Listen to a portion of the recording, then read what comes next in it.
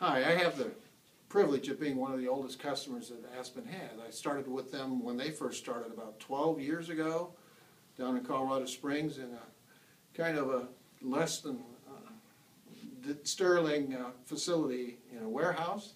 And now I watch their, their shops grow. They have four in Colorado Springs that are amazing. They're, uh, they're the kind of things that are nicer than your average living room.